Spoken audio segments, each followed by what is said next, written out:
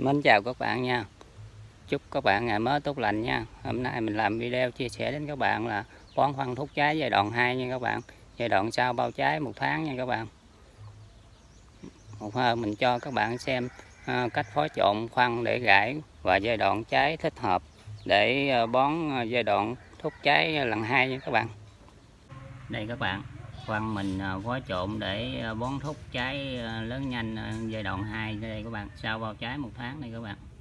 Đây các bạn thấy không? Phân này là à, UG các bạn. UG với mình phối trộn với um, kali muối ớt nha các bạn. Kali nhuyễn người ta còn gọi là kali muối ớt đó các bạn. Là mình phối trộn UG đạm với kali ở giai đoạn là mình bón là giai đoạn là sau sau bao trái một tháng nha các bạn bao trái xong thì mình bón ờ, một ờ, cử rồi. Là cử ờ, phân Jaga đó bạn, cũng cộng có trộn với kali. Giai đoạn 2 này sau bao trái một tháng, mình tiếp tục bón phân thuốc trái để trái nó phì đó bạn. Phì và nó lớn nhanh đó là dưới, lên màu sắc đẹp đó các bạn, là mình có trộn UG với kali. Là bón giai đoạn sau bao trái một tháng nha các bạn là bón thuốc cử cử này là mình ờ, bỏ luôn tới thu hoạch đó các bạn. À, là mình phối trộn là theo tỷ lệ là 5 năm các bạn. À, 10 kg UG 10 kg gali. Mình xin nhắc lại nha mình phối trộn phân UG này. Ờ, UG còn gọi là đạm nữa các bạn. Là phân đạm nó với kali muối ớt này là theo tỷ lệ là 5 năm nha các bạn. Ví dụ như 10 kg kali 10 kg phân đạm là là 10 kg UG đó các bạn. 10 kg kali 10 kg UG mình phối trộn với nhau theo tỷ lệ 5 năm. Mình bón thúc giai đoạn là sau bao trái một tháng nha các bạn. Bón thúc cỡ hai. Sau giai đoạn ờ, bao trái một tháng là mình bón thúc cỡ này là mình bỏ tới thu hoạch luôn đó bạn. Đối với xà, xà cát và lọc là mình sử dụng giai đoạn phân như này là giúp trái nó phì nha các bạn. Phì và nó lớn nhanh và nó có màu sắc ờ, đẹp các bạn nó lên màu vàng các bạn này mình cho các bạn coi giai đoạn ờ, trái sau sau bao trái một tháng và trái nó lớn hơn nha các bạn. Đây.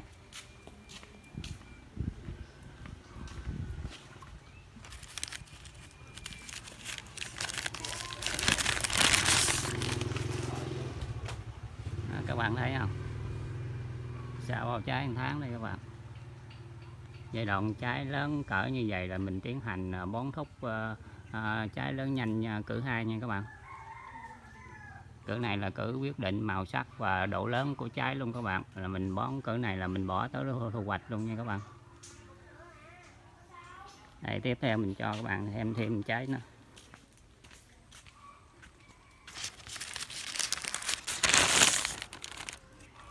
Đây. Nắng chói quá các bạn ơi các bạn gắng nhìn à, nhìn mình nha. Đây giai đoạn sau bao trái một tháng này các bạn. Và bón phân à, bón thúc cử hai luôn. Sau sau à, cử một là lúc mình bao trái xong mình tiến hành. Bón phân thúc trái, cử một là ra ra kết hợp với kali. Bón thúc cử hai, sau bao trái một tháng, mình à, phối trộn là phân đạm kết hợp với kali nha các bạn. Theo tỷ lệ 5 năm. 10 kg UG thì phối trộn với 10 kg kali. Giai đoạn này là quyết định như các bạn, giúp trái nó lớn nhanh, phì và có màu sắc đẹp nha các bạn. Đây là sò cát và lọc. Đối với sò cát và lọc.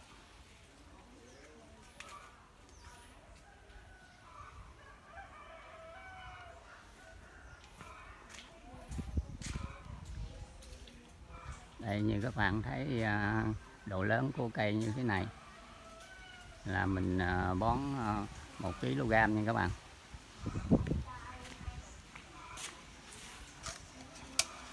Này mình tiến hành bón nha cho các bạn xem nha. Mà các bạn muốn hiệu quả là, là, là bón phân hiệu quả giai đoạn này là mình à, tưới nước trước nha các bạn. Tưới vừa ẩm à, cho đất trước rồi mình mới tiến hành à, bón nha các bạn.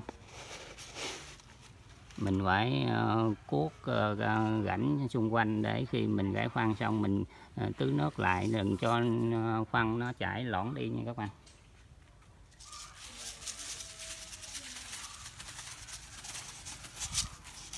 trước khi bón mình à, à, tưới nước giữ ẩm cho đất đi xong mình bón xong mình, mình quay lại tiến hành à, tưới nước lần hai các bạn. Cho nó tan khoan và cây mình nó dễ hấp thu các bạn nó đạt hiệu quả.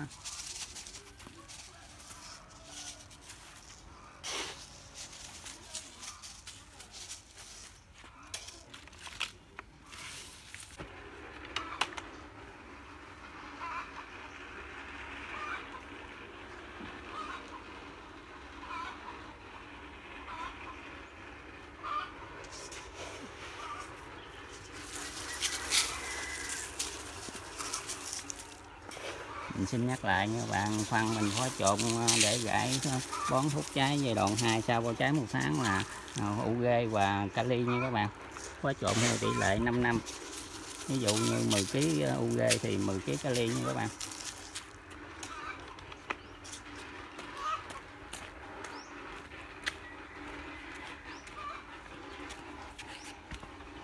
đây xài mình đã tưới nước giữ ẩm hết các bạn. Xong mình mới tiến hành bón phân rồi mình bón xong rồi mình quay lại mình à, tưới thêm cử nữa các bạn. Như vậy đó phân mình nó không hấp thu nữa các bạn.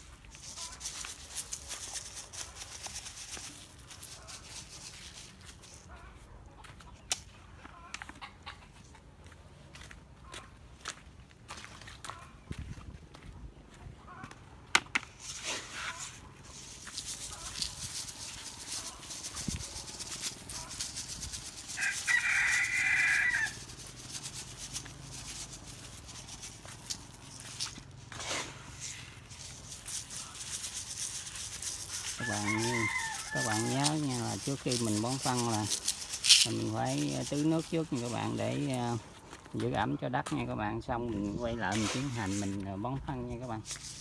Bón phân xong mình à, mình tiếp tục tưới nước để cho tan phân nha các bạn, cho cây nó dễ hấp thu nha các bạn.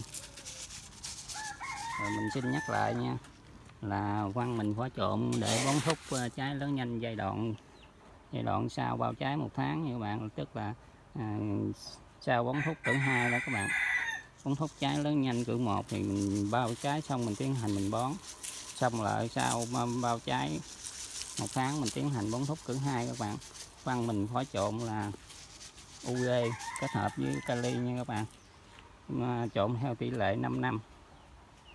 10 kg UG là phối trộn với 10 kg kali giai đoạn này quyết định à, độ lớn của trái, độ phì của trái và à, màu sắc của trái nha các bạn. Nếu các bạn thấy video này hữu ích, các bạn cho mình một like, một chia sẻ và một đăng ký để mình có động lực làm những video chia sẻ đến các bạn. Xin chào và hẹn gặp lại các bạn.